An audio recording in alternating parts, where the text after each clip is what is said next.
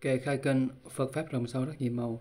Trong ngày muôn kiếp khó tìm cầu, con đang nghe thấy chuyên trì tụng, nguyện thọ Như Lai nghĩa nhiều màu. Nam mô Bổn Sư Thích Ca Mâu Ni Phật. Nam mô Bổn Sư Thích Ca Mâu Ni Phật. Nam mô Bổn Sư Thích Ca Mâu Ni Phật. Kinh Đại thừa Đại tập Địa tạng tập luân. Quyển thứ tư, phần 2. Phẩm thứ ba. Vô y hành. Lúc bấy giờ, Đại Bồ Tát Địa Tạng lại thưa Phật: Bạch Đại Đức Thế Tôn, giả như có cõi nước nào Thời năm trượt sáu ác không có Phật ra đời, chúng sanh trong cõi đó bị nhiều phiền não bùng cháy, quen làm các hạnh xấu, ngu si, rất phong ác, khó có thể giáo hóa, dẫn chắc được. Nghĩa là sát đế lợi chiên trà la, tệ quan chiên trà la, cư sĩ chiên trà la, trưởng giả chiên trà la, sa môn chiên trà la, bà la môn chiên trà la. Những người này thiện căn ít ỏi, không có lòng tin, vua nịnh, ngu si, ngã mạn, cho là thông minh, không thấy, không sợ hoặc khổ đời sau, lánh xa thiện tri thức, cho đến hướng vào địa ngục vô chán. Những người này chỉ vì của cải mà kết bè đảng với các bí xô phá giới làm việc xấu ác, hỗ trợ nhau làm việc phi pháp, nhất định đều hướng đến địa ngục vô chán. Nếu có việc này, ta sẽ đến nơi đó, đem giáo pháp của Phật Thế Tôn Như Lai làm đỡ trang lạc cho tất cả hữu tình, đều được pháp vị giải thoát tối thượng vi diệu dùng phương tiện giáo hóa, hướng dẫn họ thực hành theo ta cố giúp sát đỡ lợi chiên đà la.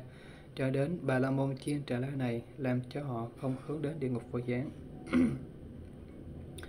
Lúc bấy giờ, phật bảo đại bồ tát địa tạng, này thì nam tử, ở cõi phật này, vào thời vị lai có các chúng sinh, bị phiền não bùng cháy quen làm các việc xấu, ngu si, rất không ác, khó có thể giáo hóa, hướng dẫn nghĩa là sát đối loại chiên trà la tiểu quan chiên trà la cư sĩ chiên trà la trưởng giả chiên trà la sa môn chiên trà la ba la môn chiên trà la những người này thiện các ít ỏi, không có lòng tin, vua nịnh ngu si, ngã mạn, cho là thông minh, lánh xa thiện tri thức. Lời nói không chân thật, không thuận theo lời dạy thiện tri thức. Thường phỉ bán bán chửi, hủy nhục giáo pháp chân chánh do dự nhận thức điên đảo, không thấy, không lo, sợ quả báo đời sau. Thường vui theo, thân cận các luật nghi xấu ác. Ưa làm việc sát sanh cho đến tà kiến, lừa dối thế gian. Mình người đều tổn hại. Xét để lợi chiên trà la cho đến bà la môn chiên trà la này, làm hư hoại chánh pháp của ta, xuất gia trong chánh pháp của ta mà phá hủy giới cấm. Ưa kinh doanh, nghề, nghiệp thế tục. Xét để lợi cho đến bà la môn kia, được cung kính cúng dường thì tham lam lợi dưỡng mong cầu cuộc cải, lời nói ra mà không thực hành. Đem thư từ qua lại, buôn bán đổi giác ưa đọc các loại sách vở ở đời. Kinh doanh tích chứa của báu, làm ruộng, trồng trọt giữ gìn vườn nhà, vợ con tôi tớ. Quen làm bói quẻ bùa chú dùng chú thuật điều khiển ma quỷ. Xem tướng tốt xấu, điều chế thuốc thang để trị bệnh. Mong cầu của cải để nuôi sống thân mạng. Hoặc tham đắm thức ăn, y phục, đồ trang sức báu. Xuyên kinh doanh con việc thế tục mà hủy phạm giới cấm. Làm các việc ác tiếng nói phan như loa, hành động như chó, thật chẳng phải sa môn, tự xưng là sa môn. Thật chẳng phải phạm hạnh, tự xưng là phạm hạnh. Sẽ đến lợi chiên trà la cho đến bà la môn chiên trà la kia, ưa thân cận, cung kính cúng dường, lắng nghe, lãnh thọ lời dạy của họ. Người phá giới này, ưa thân cận, cung kính cúng dường, lắng nghe, lãnh thọ giáo pháp của sẽ đế lợi chiên trà la cho đến bà la môn chiên trà la. Nếu thấy có người xuất gia ở trong giáo pháp của ta đầy đủ giới phước đức, tinh tấn tu hành, học hành phước học cho đến cho đắc quả vị tối thượng, thì xét đến lời chiên trà la cho đến bà la môn chiên trà la kia, trở lại sinh tâm ghen ghét, không ưa, thân cận, cung kính, cúng dường, lắng nghe, lãnh thọ lời dạy, bảo của các vị ấy. Này thiện nam tử, ví như có người đi vào hòn đảo báu, vứt bỏ các thứ vàng bạc, chân châu, hoa sen hồng việc lưu ly các thứ châu báu có giá trị lớn mà lấy châu ca giá. Ở cõi Phật này và đời vị lai có các sát đế lợi, chiên trà la cho đến bà la môn chiên trà la. Cũng như vậy và trong đạo báu chánh pháp của ta bỏ các nghĩa đế thù thắng, đầy đủ giới, phước đức, đầy đủ tàm quý. Học bậc vô học và thiện tri thức, tinh tấn tu học sáu ba la mật, đủ các công đức của người đệ tử chân chánh, đã lấy các việc phá giới, ưa làm các việc ác không có tàm quý, nói lời thô tháo thân tâm kiêu ngạo sẽ lìa các pháp trắng, không có tâm từ bi. Đối với bí số số ác cho là ruộng phước, cung kính cúng dường, lắng nghe lời dạy của họ, thầy và đệ tử số ác như vậy quyết định hướng đến địa ngục vô gián. Này tiểu nam tử, có mười ác luân. Vào đời vị lai ở cõi nước này có xác đế lợi chiên trà la tể quan chiên trà la, cư sĩ chiên trà la, đường giải chiên trà la, sa môn chiên trà la và la môn chiên trà la. Có một hoặc tất cả mười luân ác này thì tất cả thiện căn đã tu tập trước đây đã bị tiêu hủy thành tro bụi. Không bao lâu sẽ bị thiếu khuyết các bộ phận thân thể. Trong nhiều ngày lưỡi bị cứng không nói được. Thọ lấy các thống khổ bức bách khó mà chịu nổi. Sau khi qua đời nhất định sanh vào địa ngục vô gián. Thế nào là mười? Bí số làm việc ác phá giới này đối với các vị sáng đế lợi, tả quan, bị ác kiến, những lời phỉ bán các bí xô thanh tịnh ở nơi thanh vắng. Các nhân giả, bí số này ngu si hèn hạ, trái hiện hình tướng lừa gạt thế gian, vì mong cầu ăn uống y phục lợi chịu cung kính danh dự nên khen mình cho người. Ganh ghét đua tranh tham đắm danh lợi không có nhàm chán. Hãy gạt bỏ đi trở nên tin theo lời họ nói. Các bí số này chuyên nói dối xa lìa pháp chân thật. Các người này đều không đắc đạo quả cũng không xa lìa dục. Đần tận các lậu chỉ vì lợi dũ cung kính danh dự mà ở nơi thanh vắng tự hiện có oai đức, các ông cẩn thận, cho nên cũng dường, cung kính, phụng sự những kẻ dối gạt chẳng phải là trụ phước chân thật, chẳng phải là người hành đạo như vậy. Khi ấy sẽ đến lời chiên trà la cho đến bà la môn chiên trà la đối với các bế xô thanh tịnh ở nơi thanh vắng. Không phát sinh lòng tin tưởng chân thật hiếm có, không cung kính mà lại khinh biệt không thích thân cận, phụng sự, cúng dường. Không ghi nhận, không ghi nhận những lời các vị ấy nói khinh thường hủy bán các bí so thanh tịnh ở nơi thanh vắng như vậy, tức là khinh thường hủy bán tất cả dòng giống pháp nhãn tam bảo. Bây giờ trong nước ấy có chư thiên, long, dược, xoa, kính tinh tam bảo không lay động đối với xét đế lợi chiên trà la. Cho đến bà la môn, sa môn, bà la môn, chiên trà la sanh lòng sân giận bà bạc với nhau rằng. Các vị hãy xem bọn sánh lợi tế quan cư sĩ, trưởng giả sa môn, bà la môn, chiên trà la này đều khinh thường hủy bán tất cả dòng giống pháp nhãn thanh bảo. Tổn giảm thiện căn do nghe theo bản ác, tạo các nghiệp tội sẽ đọa vào đường ác. Từ nay chúng ta, cho nên ủng hộ bọn sẽ đến lợi trên trà la này và nơi ở thành ấp đất nước của họ. Nói vậy rồi tất cả thiên long dược xoa thần đều bỏ đi, không ủng hộ sẽ đến lợi trên trà la và nơi ở thành ấp đất nước của họ nữa. Tất cả các bậc pháp khí rồi phước chân tật ở trong nước ấy đều ra khỏi nước. Nếu có vị ở lại cũng bỏ lơ không còn hộ niệm. Bây giờ do chư thiên, long, dược xóa thần và các bậc pháp khí rủ phước chân thật đối với sẽ đế lợi chiên trà la và ở, và nơi ở thành ấp đất nước đều không hộ về, không hộ niệm nên trong nước ấy xảy ra việc. Hai bên này ra quân trận đấu tranh giết hại nhau, tật bệnh ôn dịch đói kém nhân đó nổi lên. Khi ấy sẽ đó là chiến trà la cho đến sa môn bà la môn chiến trà la kia, tất cả nhân dân trong nước đều không vui. Trước đây thương yêu, vui vẻ, nay đều xa lìa bà bè quyến thuộc trở lại sân giận nhau, mù toàn nghi ngờ nhau, không có lòng từ bi, ganh ghét thêm lam, bỏng sẻn. Các điều ác đều phát sanh, nghĩa là sát sanh cho đến tà kiến, không biết tạm quý, tiêu dùng tất cả vật của chùa tháp, vật của chúng tăng, chưa bao giờ hối lỗi. Bọn xác đế lợi chiến trà la kia ganh ghét các bậc trung tính, ưa thích những kẻ chúa nịnh làm cho quan dân xâm đoạt giết hại nhau, sân giận kết oán sẽ ra các cuộc đấu tranh. Khi giao chiến với các nước lân cận, các quân sĩ nhục chí bị thua trận, sẽ đã lời chiên trà la tể quan cư sĩ trưởng giả sa môn bà la môn chiên trà la. Không bao lâu thân thể sẽ bị thiếu khuyết trong nhiều ngày đêm bị cứng lưỡi không nói được. Thọ lấy đau khổ bức bách khó chịu nổi sau khi qua đời chắc định sẽ sanh vào địa ngục vô gián.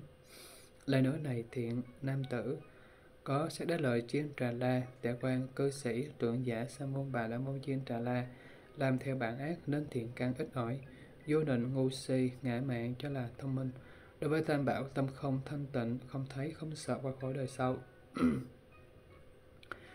Có hạng người, có chút lòng tin đối với thừa thanh văn, thật là ngu si mà tự cho là thông minh đối với pháp duyên giác thừa và pháp đại thừa cho ta thuyết ra thì cha bài phỉ bán không cho chúng sanh thọ trì độc tụng cho đến một bài tụng. Lại có hạng người, có chút lòng tin đối với thừa chuyên giác, thật là ngu si mà tự cho là thông minh. Đối với pháp thanh văn thừa và pháp đại thừa, cho ta thuyết ra thì cha bài phỉ bán không cho chúng sanh thọ trì độc tụng cho đến một bài tụng. Lại có hạng người, có chút lòng tin đối với pháp đại thừa, thật là ngu si mà tự cho là thông minh đối với pháp thanh phân thừa và pháp duyên giác thừa. Do ta thuyết ra thì cha bài phỉ bán, không cho chúng sanh thọ trì độc tụng cho đến một bài tụng. Những người như vậy gọi là hủy bán chánh pháp của Phật, cũng là trái nghịch với chư Phật ba đời. Phá hủy, thiêu đốt tất cả tạng pháp của ba đời chư Phật làm cho đều thành tro bụi. Đối với tất cả tám thánh đạo, hủy hoại mất pháp của vô lượng chúng sanh. Sẽ đến lời chiên trà la cho đến sa môn, bà la môn chiên trà la nào đối với pháp thanh văn thừa, pháp duyên giác thừa và pháp đại thừa cho Phật tiết ra. Làm chướng ngại, ngăn chặn, làm cho hủy diệt cho đến một bài tụng cũng không còn. Nên biết người này không cung kính tất cả dòng giống pháp nhãn tam bảo. Do đó làm cho tất cả các vị hộ vệ đất nước, chư thiên long, chư xoa thần tinh kính tam bảo không lay động. Đối với sát đế lợi chiên, trà la cho đến sa môn, bà la môn chiên, trà la, sanh tâm, giận dữ, nói rộng như trên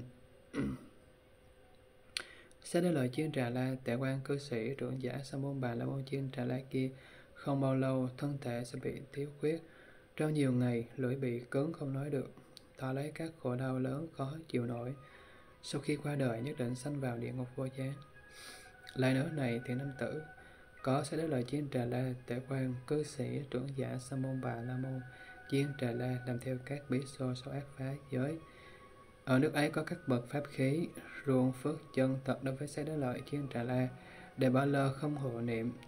Tuy ở nước ấy nhưng nương theo pháp không thích cuộc sống thế gian cũng không thường đến nhà thế chủ. Nếu có đến cũng lo giữ gìn lời nói. Dẫu có nói cũng không bao giờ hơi dối, hoàn toàn không đối trước người tại gia chê bai, hủy bán những người phá giới. Đối với các bí xô sâu ác phá giới, hoàn toàn không khinh thường nhưng liền do cho dò xét. Cũng không hiện tướng để nêu điều sai trái của họ thường thân cận bậc phước điền xa lìa những người phá giới. Nhờ các biết xô sâu ác phá giới kia đối với bậc trì giới chân chánh trở lại sân giận khinh thường hoài bán lăng nhục. Đối trước sáng đế lợi chiên trà la cho đến sa môn bà la môn chiên trà la, nam nữ lớn nhỏ tài gia nói những lời dối gạt vô nịnh cho bay phỉ bán các vị trì giới này. làm cho sẽ đã lợi chiên trả la cho đến sa môn bà la môn chiên trả la đối với các bí xô tiểu dục tri túc trì giới đa văn biện tài vô ngại đệ tử của ta sanh tâm sân giận nói những lời thô lỗ mắng chửi bức bách làm cho tâm buồn rầu thân không an ổn hoặc chiếm đoạt y bát và các vật dụng làm cho bị thiếu thốn, hoặc chiếm đoạt vật của tứ phương tăng không do thọ dụng, hoặc giam nhốt trong lao ngục công cùng ra tra khảo khổ sở, hoặc các các phần của thân thể hoặc chặt đầu. Này thì nam tử, các ông nên xem các vua sẽ để lợi chiên trà la cho đến các người sa môn bà la môn chiên trà la này thân cận bị xô phá giới làm việc ác gây nên các tội lớn như vậy cho đến sẽ đọa vào địa ngục vô gián các chúng sinh nào tạo năm tội vô gián hoặc phạm giới trọng hoặc phạm tánh tội giá tội còn nhẹ gần với tội vô giá như vậy các vua sẽ đến lợi chiên trà la cho đến những người sa môn bà la môn chiên trà la, thân gần phá giới, phạm trọng tội việc pháp. Này thì nam tử Bí xô phá giới làm hạnh xấu ác tuy phạm trọng tội việc pháp như vậy, nhưng nương vào giáo pháp của ta cả bỏ râu tóc, mặc áo ca sa, đi đứng oai nghi, đồng với các bậc hiền thánh. Ta còn không cho vua quan, các người tài gia nương vào pháp thế tục dùng roi gậy đánh đập người ấy hoặc giam nhốt trong lao ngục hoặc lại quả mắng hoặc các những phần thân thể hoặc đoạn mạng sống huống là nương vào việc phi pháp. Vua quan các người tại gia làm việc này liền mắc tội lớn quyết định sẽ đòi vào địa ngục vô gián. Đối với bí xô phá giới làm hạnh xấu ác con không nên trách phạt như vậy huống là người trì giới chân chánh làm việc thiện. Này thì nam tử, biết số nào phạm một tội trong các tội trong trọng căn bản thuộc tánh tội, tuy gọi là bí xô phá giới làm hạnh xấu ác, nhưng đối với luật nghi đã thọ ở trong tăng chú hòa hợp với các vị thân giáo sư không mất hết cho đến bỏ hết các học giới nhưng vẫn còn phản phất hương thơm của pháp trắng. Quốc phương đại thần các người tại gia không có luật nghi không nên khinh mạng và trách phạt. Bí số này tuy chẳng phải là pháp khí, bỏ mất thánh pháp, làm ô uế chúng thanh tịnh, phá hoại tất cả pháp sự của Sa môn, không được thọ dụng vật bốn phương tan nhưng đối với luật nghi đã thọ ở trong tăng chúng hòa hợp với các vị thân giáo sư không mất hết nên còn hơn tất cả người tại gia bạch y. Người phạm tánh tội còn nên như vậy huống là phạm các tội nhỏ khác vì vậy không cho quốc vương đại thần các người tại gia khinh mạng trách phạt vì sao này thì nam tử chính vào thời quá khứ đó có vua nước Kasa tên là Phạm Thọ bảo người chiên Trà La. Có voi chúa lớn tên là Thanh Liên Mục có đủ sáu ngà, sống ở phiên núi Tiết Sơn. Ngươi hãy đến đó nhổ ngà voi đem về cho ta. Nếu không được, năm người các ngươi quyết định sẽ chết. Khi ấy bọn chiến Trà La vì muốn bảo toàn mạng sống nên cầm cung tên mặc áo ca sa đỏ giả làm hình tướng sa môn đi đến núi Tiết Sơn tại chỗ voi chúa. Khi ấy voi cái trông thấy người cầm cung tên đi đến thì kinh sợ chạy đến chỗ voi chúa thưa Bạch Đại Vương, hiện giờ có người đang rút tên Dương Cung đi từ từ hướng về phía chúng ta. Chẳng lẽ chúng ta sắp mất mạng sao? Nghe nói voi chúa đưa mắt nhìn và thấy một người cạo tóc mặc áo ca sa liền nói bài tụng bảo voi cái. Những người mặc ca sa là pháp tướng chư Phật, người này xa điều ác, ác không hại chúng sinh.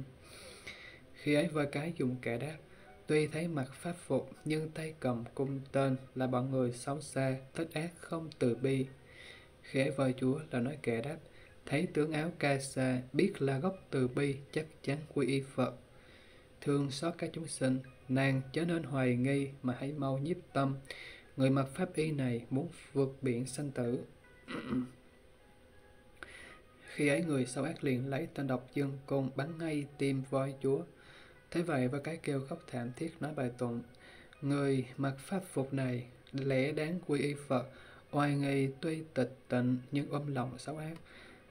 Nên mau đạp người ấy làm cho hắn chết đi, trả thù oán đối này vì bắn vào voi chúa.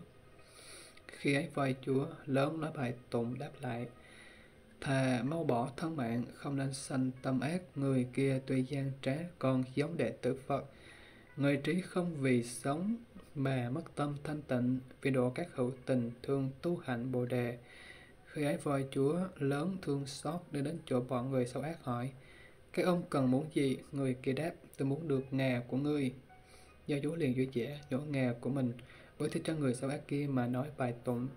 Tôi đem ngà trắng bố thí cho ông, không uất hận tham lam bỏng sáng.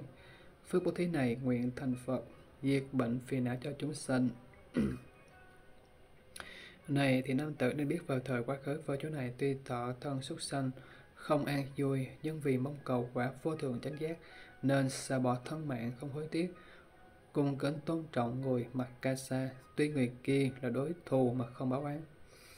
Tuy nhiên, đời vị La có vua sẽ đến lợi chiên trà la, tể quan, cư sĩ, trưởng giả sa môn, bà la môn chiên trà la, thật là ngu si, ngã mạng, cho là thông minh, vua nịnh, lừa dối thế gian, không thấy, không sợ quả khổ đời sau. Đối với người quy y xuất gia theo giáo pháp của ta, hoặc là bậc pháp khí, hoặc chẳng phải bậc pháp khí, thì làm não loạn, quả mắng, hoặc dùng roi gậy đến đập vào thân, hoặc nhốt trong lao ngục cho đến đoạn mạng sống.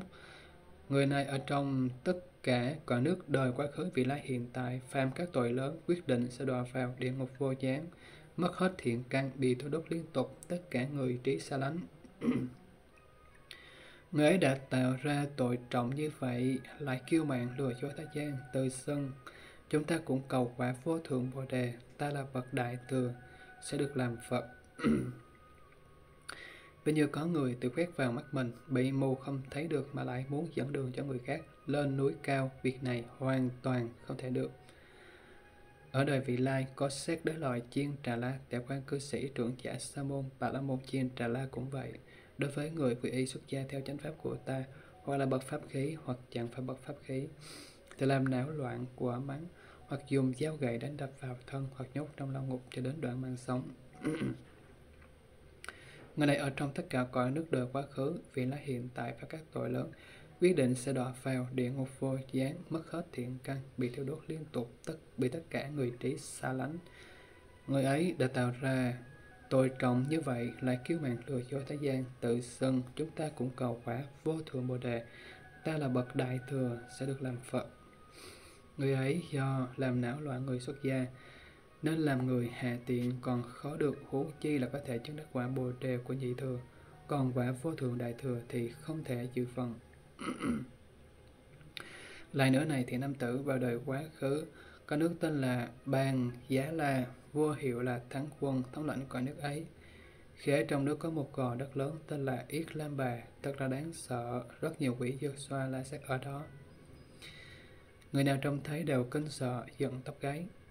Bây giờ trong nước có người tội đáng chết, vua sai quan cai ngục trói năm phần thân thể kẻ ấy, rồi đem quăng vào gò đất lớn Yết Lam Bà, để cho các ác quỷ ăn thịt Tội nhân nghe vậy vì muốn bảo toàn mạng sống nên cả bỏ râu tóc tìm áo ca sa. Ghế tìm được một miếng tự quấn vào cổ. Khi ấy, quan ca ngục y theo lệnh vua trói năm phần thân thể tội nhân đem bỏ nơi gò đất rồi trở về.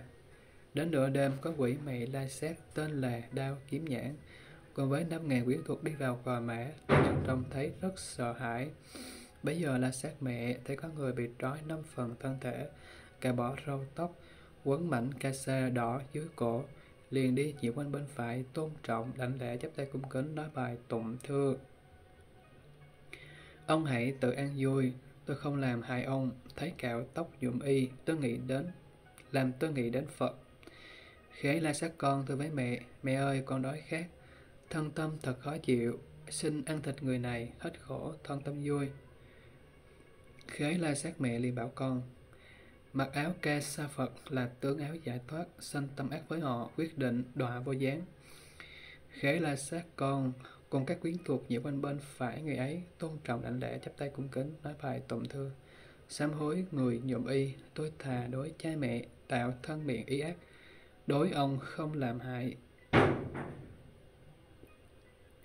Bây giờ lại có la sát mẹ tên là Lư Lư loa sĩ, gồm có năm ngàn quyến thuộc vây quanh đi vào gò mã.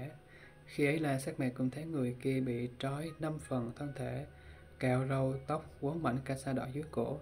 Liền đi nhiễu bên phải, tôn trọng đảnh lễ chắp tay cung kính nói bài tụng. Ông chớ có sợ tôi, của ông quấn pháp phục là tướng áo của Phật, tôi đành lễ cúng dường. Khi ấy là sát con, thưa mẹ, Máu thịt người ngon ngọt xin mẹ cho con ăn, đã tăng thêm sức lực, dũng mạnh không lo sợ. Lúc đó là sắc mẹ liền bảo con, hàng trời người vui sướng, do cung kính xuất gia, cúng dường người quấn y, được vô lượng an vui. Bây giờ là sát con cùng các quyến thuộc nhiều quanh bên phải người ấy, tôn trọng đảnh lễ chắp tay cung kính nói bài tụng. Tôi cung kính đảnh lễ, người cạo tóc nhuộm y. Nguyện ở đời vì lai thấy Phật sanh tính tâm. Khi ấy lại có La sắc mẹ tên là Tông Mang Phát, gồm có năm ngàn quyến thuộc vây quanh đi vào gò mã. Khi ấy La sắc mẹ cũng thấy người này bị trói năm phần thân thể, cạo râu tóc, quấn mảnh ca sa đỏ dưới cổ, liền nhiễu quanh bên phải, tôn trọng đảnh lễ, chắp tay cung kính nói bài tụng. Tướng áo ca sa Phật, người trí nên tôn phụng, nếu hay tôi cúng dường, ác đoạn các trói buộc. Lúc đó là xác con thưa mẹ, thân máu thịt người này là thức ăn trong nước, xin cho con ăn nuốt, có sức phụng sự mẹ. Khải là xác mẹ liền bảo con, người nhầm y thế này, con chẳng nên ăn họ, khởi ác tâm với họ sẽ chịu khổ rất lớn. Khế là xác con của các quyến thuộc dịu quanh bên phải người ấy, tôn trọng đảnh lễ chắp tay cung kính. Nói bài kệ, ông là dòng giống Phật, là ruộng phước điền tốt, nên tôi tu cúng dường nguyện cho các đói buộc. Khế có là sắc mẹ tên là Đao Kiếm Gẩu, còn có năm ngàn quyến thuộc vây quanh đi vào cò mã.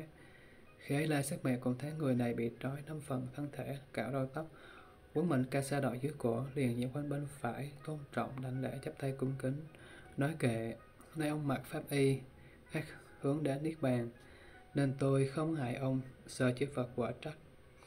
Khế la sắc con thưa với mẹ, con thường hút tinh khí ăn uống máu thịt người, cho con ăn người này sức lực được đầy đủ. Khế la sắc mẹ bảo con, hai người mặc ca sa và cả bỏ râu tóc, ác đọa ngục vô gián chịu cổ lớn lâu dài. Khế la sát con cùng các quý thuộc nhiều quan bên phải người ấy, tôn trọng đành lễ chấp tay cung kính nói kệ. Chúng tôi sợ địa ngục nên không dám hại ông, sẽ mở trói cho ông, nguyện thoát khổ địa ngục. Khế mẹ con la sát cùng quý thuộc đều phát tâm từ, mở trói cho người ấy sám hối tà lỗi, thăm hỏi vui vẻ tạ cho về. Sáng sớm, người ấy đi nhanh đến chỗ vua trình bày đầy đủ việc này lên vua. Khế vua, thắng quân và các quyến thuộc nghe sự việc này kinh ngạc, vui mừng cho là việc chưa từng có, liền lập quy chế truyền lệnh bảo những người trong nước. Từ nay về sau, ở trong nước ta, nếu có đệ tử của Phật hoặc người trì giới, hoặc người phá giới cho đến người không có giới, chỉ cạo bỏ râu tóc mặc áo ca sa. Nếu người nào xâm phạm hoặc làm hại, người ấy sẽ trị phạt bằng tội chết. Do nhân duyên này mà người mến một ai đức dần dần đều quy kính vua Thiệm Bội Châu nên cùng nhau thành tâm quy y cung kính tam bảo. Này thì nam tử nên biết la sắc này vào thời quá khứ, tuy thọ thân ngạ quỷ không an không không an vui, hút tinh khí của người, uống máu, ăn uống máu thịt, tâm ác hừng hãy, không có từ bi mà thấy người không có trái đất chỉ cào bỏ râu tóc, dùng ảnh ca sa buộc dưới cổ liền dạo quanh bên phải tôn trọng, đảnh lễ, cung kính, khen ngợi, không có tâm làm tổn hại. Tuy nhiên vào đời vị lai, có sẽ đến lời chiên trà la. Tại quan, cư sĩ, trưởng giả sa môn bà la môn chiên trà la. Ôm lòng độc ác, không có lòng từ thương xót gây tạo tội lỗi đối với dược xoa. La sát ngu si ngạo mạn, mất hết thiện căn đối với người xuất gia theo giáo pháp của ta, hoặc là bậc pháp khí, hoặc chẳng phải là bậc pháp khí cả bỏ râu tóc mặc áo ca sa thì không cung kính làm não loạn quả mắng hoặc dùng roi gậy đánh đập hoặc nhốt vào lao ngục cho đến đoạn mạng sống. Người này ở trong tất cả các cõi nước đời quá khứ, vì lai hiện tại phạm các tội lớn, đoàn mất thiện căn, bị thiêu đốt liên tục, bị tất cả người trí xa lánh quyết định sẽ sanh vào địa ngục vô gián. Lại nữa này, thì năm tử siêu có quốc vương tên là siêu phước đức, có người phạm tội đáng tử hình. Tánh vua nhân từ không nỡ đoạn mạng sống của một đại thần có trí tuệ, nhiều mưu kế đến trước tâu vua, xin ngài chớ có lo ưu buồn, thần sẽ không cho không làm cho vua mắc tội sát sanh, không giao cho đao phủ giết người này. Khi ấy vị đại thần có trí tuệ dẫn người phạm tội đến cho con voi say hung dữ. Lúc đó voi say hung dữ dùng vòi cuốn lấy hai chân tòa nhân đưa lên hư không, đem hết sức lực muốn đập xuống đất. Bỗng thấy người này mặc áo màu đỏ, nghĩ là Kasa, nên sanh tâm tịnh tính, liền từ từ đặt xuống đất gào khóc, sám hối tạ lỗi, quy xuống ở trước, để vòi sát chân, tâm cung kính chiêm ngưỡng người ấy. Thế vậy đại thần chạy về tao vua, nghe nói nhà vua kinh ngạc cho là việc chưa từng có, liền sắc lệnh cho nhân dân trong nước đều phải tôn kính thánh bảo. Từ đó vua thiện bò châu từ bỏ sát sanh. Này thì nam tử nên biết voi say này vào thời quá khứ tuy tội thân xuất sinh không được an lạc nhưng tôn kính áo ca sa không gây nghiệp ác. Tuy nhiên vào đời vị lai có vua sẽ đã lợi chiên trà la, tại quan cư sĩ trưởng giả sa môn bà la môn chiên trà la, thường ôm lòng độc ác không có lòng từ thương xót, gây tạo tội lỗi hơn so với voi say độc ác. Ngu si ngạo mạn đoạn mất thiện căn. Đối với người xuất gia theo giáo pháp của ta hoặc là bậc pháp khí hoặc chẳng phải bậc pháp khí cả bỏ đầu tóc mặc áo ca sa thì không cung kính làm đảo loạn quả mắng hoặc dùng roi gậy đánh đập hoặc nhốt vào lao ngục cho đến đoạn mạng sống. Ngay lại ở trong tất cả cõi nước đời quá khứ vì lá hiện tại và các tội lớn, đoạn mất thiện căn bị thiêu đốt liên tục, bị các người trí xa lánh, quyết định sẽ sanh vào địa ngục vô gián. Vua sẽ đến lợi chiến trà la cho đến sa môn bà la môn chiến trà la. Thành tựu luân ác thứ ba như vậy do nhân duyên này làm cho những vị ủng hộ đất nước như tất cả trời rồng dược xoa thần, vân vân. Tình kính tam bảo không lay động đối với vua sẽ đến lợi chiên trà la cho đến sa môn bà la môn chiên trà la. Sanh tâm sân giận nói rộng như trước. Vua sẽ đến lợi chiên trà la, tiểu quan cư sĩ trưởng giả sa môn bà la môn chiên trà la kia, không bao lâu thân thể sẽ bị thiếu khuyết trong nhiều ngày, lưỡi sẽ bị cứng, không nói được. Thọ lấy, thọ lấy các khổ, đau đớn, khó chịu nổi. Sau khi qua đời, nhất định sanh vào địa ngục vô gián. Lại nữa này thì nam tử, vào đời vị lai cõi Phật này có vô sẽ đã lợi. chiên trà la tể quan cư sĩ trưởng giả sa môn bà la môn chiên trà la theo bạn xấu ác tiền càng ít ỏi nói rộng cho đến không thấy không sợ quả khổ đời sau thái vật cúng dường cho bốn phương tăng, nghĩa là các chùa thất hoặc của chùa thất hoặc các vườn rừng hoặc là vật của vườn rừng hoặc các trang trại ruộng đất, hoặc vật của các trang trại ruộng đất, hoặc làm dụng của thiện nam tín nữ, hoặc làm dụng các loại súc vật, hoặc lấy y phục, thức ăn uống, hoặc lấy giường, tòa, đồ nằm, hoặc lấy thuốc men, hoặc lấy các vật dụng. Cái vật cúng dường tứ phương tăng như vậy, các vị đầy đủ giới phước đức tinh tấn tu hành, học hành vô học. Cho đến trước đắc quả vị tối thượng, các vị biết xô thanh tịnh xứng đáng thọ dụng, nhưng sẽ đến lời chiên trà la, cho đến sa môn bà la môn chiên trà la, dùng thế lực chiếm đoạt, không cha biết so thanh tịnh đủ giới thọ dụng. Trở lại đem cha biết so phá giới, làm việc sau ác kinh doanh, làm các việc thế tục, cùng nhau thọ dụng, hoặc thọ dụng một mình, hoặc cùng với người tiếp tục thọ dụng. Cho nhân duyên này làm cho tất cả trời đồng diệt xoa ủng hộ đất nước kinh tinh tam bảo, không lay động. Đối với xe đến lợi chiên trà la cho đến sa môn, bà la môn chiên trà la, sanh tâm, sân giận, nói động như trước. Sẽ đến lợi chiên trà la tại quan, cư sĩ, trưởng giả, sa môn, bà la môn chiên trà la, không bao lâu, thân thể sẽ bị tiểu huyết. Trong nhiều ngày, lưỡi sẽ bị cứng, không nói được. Thật lại các khổ đau đớn khó chịu nổi, sau khi qua đời, nhất định sanh vào địa ngục vô chán Lại nữa này thì nam tử và đời bị la trong cõi Phật này có sắc đó lời chiên trà la tệ quan cư sĩ trưởng giả sa môn bà la môn chiên trà la. Theo bàn ác thì các ít ỏi. Nói rộng cho đến không thấy, không sợ và khổ đời sau các người xuất gia trong giáo pháp của ta. Thông minh học rộng đầy đủ và có thể truyền bá chánh, truyền bá pháp thanh văn thừa và có thể truyền bá pháp độc giác thừa hoặc có thể truyền bá pháp vô thượng thừa, làm cho lưu truyền rộng khắp, đem lại lợi lạc cho chúng hữu tình các người kia đối với các vị pháp sư này quả mắng quỷ nhục, phỉ bán khinh thường, lừa dối, làm bức bách não loạn pháp sư, gây chướng ngại chánh pháp. Do nhân duyên này làm cho tất cả vị ủng hộ đất nước trời rồng diệt xa tinh kính tam bảo không lay động, đối với sẽ đó lời chiên trà la cho đến sa môn bà la môn chiên trà la, sinh tâm giận dữ nói động như trước.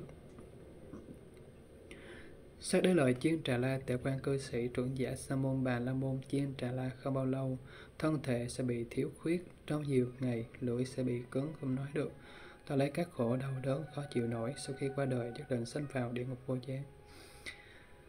Lại nữa này thì nam tử và đời vị la trong cõi nước này có sẽ đến lời chiên trà la tiểu quan cư sĩ trưởng giả sa môn bà la môn chiên trà la theo bản ác thì càng ít ỏi nói rộng cho đến không thấy không sợ quả khổ đời sau Thế có Phật cúng dường tứ phương tăng, chùa thất trang trại, ruộng đất, người xuất vật của cải vật báo bông hoa, cây, ăn trái, cây thuốc nhuộm, cây bóng mát, cây thuốc thơm và các loại vật dụng khác và các đệ tử để độ giới đức.